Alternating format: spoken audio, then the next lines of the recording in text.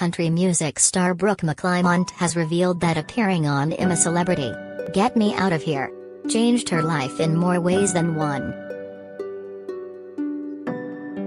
In an interview with Woman's Day on Monday, the 40-year-old said she went from meeting 8,000 calories a day to 800 while living off minimal rations in the jungle.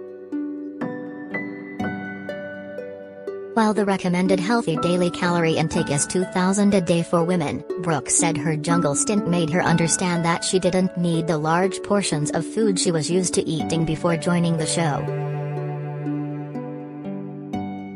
She was also forced to give up alcohol and cigarettes in the jungle, leading her to say her appearance was almost like rehab to wean her off bad habits. I went from 8,000 calories a day to 800 calories a day, she said. It was probably the healthiest I've ever been. It was like a rehab facility for me. I think I need to do this more often.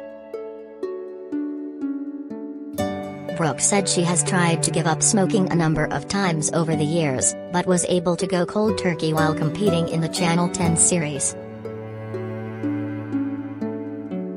Although she admits to smoking an entire packet of cigarettes the night before she entered, she added, I went in there and just did it.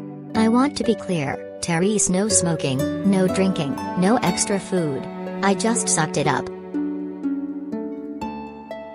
That was one thing I realized about myself, how mentally strong I was.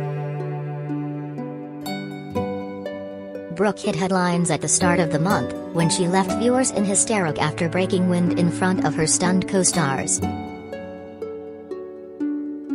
The singer didn't hold back when she announced that she needed to fart while she was packing her clothes. Oh, my god. I need to fart, she told fellow contestant David Subritzky.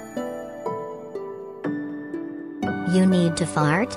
Just fart then, he said with a chuckle. Ill try, responded Brooke, before trumpeting a lengthy fart. That's gonna happen a lot, she warned her fellow campmates.